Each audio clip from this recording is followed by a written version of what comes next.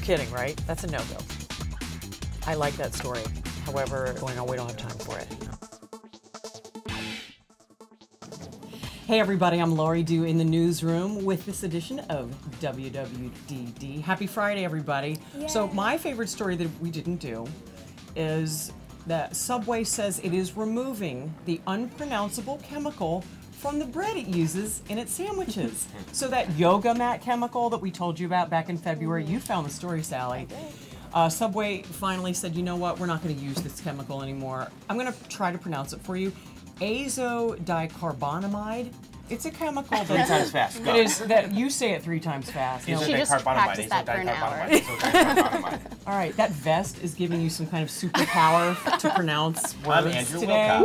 We're going to talk about your vest in a minute. Anyway, the point is, people, that Subway is finally taking this nasty chemical out of its bread.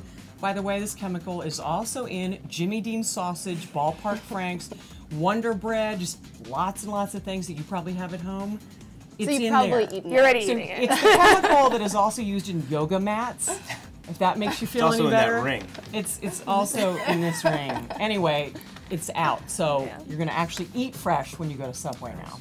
Hooray. Yeah. All right, what you got, Rachael? Okay, so my favorite story this week I found yesterday. Uh, we'll look at this picture. We'll pop it up now. You know how they tell you, you know, never park in front of a fire hydrant? Well, somebody did, and of course there was an eight-alarm fire across the street.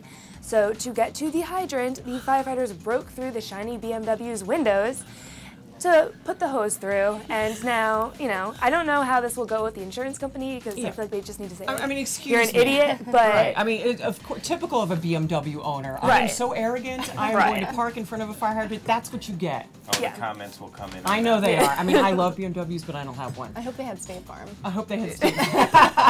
I hope the insurance company is just like, you are an idiot. Sorry, like we're not helping you. All right, what you got, Sally? All right, so this was actually a story out today. So everything's going mobile these days, but printers are now going mobile as well. There's a new printer on Kickstarter, so it hasn't been released yet, and it fits in your pocket.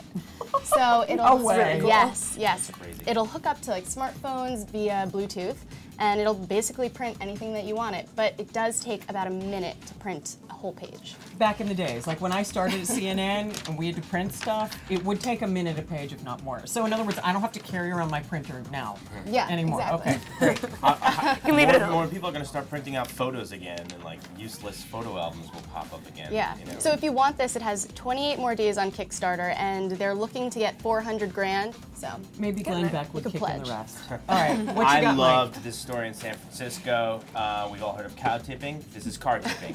Four smart cars in San Francisco were tipped over. Some pranksters. We don't think it's an epidemic, but it could be.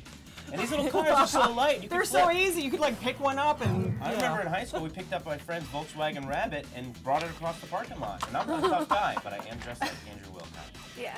Yes, the Yeah. vest. Vest. Thumbs up or thumbs down. don't Let associate know. us, with the vest. Yeah, no, please don't. All right, keep your comments coming. We we love that you love WWDD. See you next week. Bye. Bye.